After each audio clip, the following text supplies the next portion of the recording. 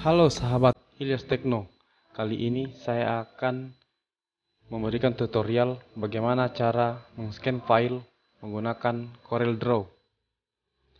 Karena ini sangat penting ya, karena terkadang kita ingin menjadikan file kita ke flash disk atau ingin meng-share ke media sosial dan lain-lainnya, kita membutuhkan file scan scan ijazah, KTP, sertifikat, dan lain-lain. Nah, kali ini saya akan memberikan tutorial bagaimana cara scan menggunakan Corel Draw.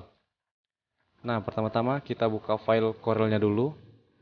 Kemudian eh, kita ambil file yang ingin kita scan atau gambar yang ingin kita scan. Nah, kali ini saya akan menggunakan uh, kertas ini. Ini hanya sebagai contoh ya. Kemudian ini kita masukkan ke sini ya, ke scannernya. Nah, setelah itu kita masuk ke Corelnya Eh, kita masuk ke file. Kemudian kita pilih ini ya awkward image. Kemudian kita pilih uh, tipe scannya. Ya sini saya menggunakan scan L360 ya. Ini ya. Kemudian select.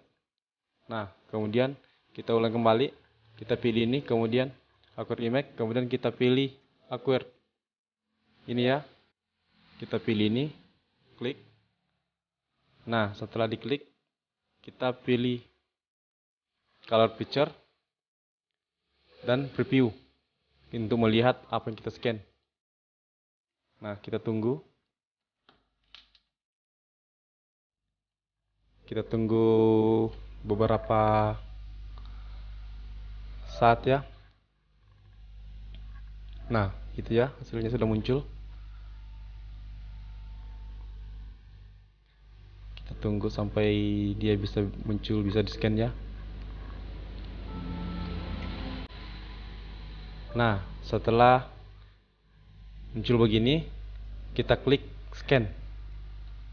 Nah kita klik saja. Tunggu scannya mentransfer datanya masuk ke Corel ya.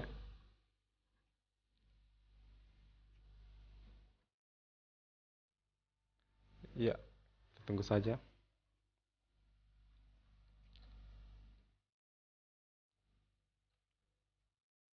Nah, inilah hasil scan menggunakan Corel Draw.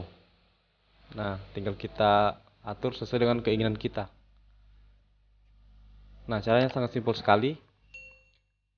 Cara men-scan file, baik itu sertifikat, KTP, dan lain-lain sebagainya, bisa kita scan ya melalui Corel Draw. Dengan cara yang seperti tadi ya, kita pilih file, acquired image, kemudian acquired Oke, teman-teman.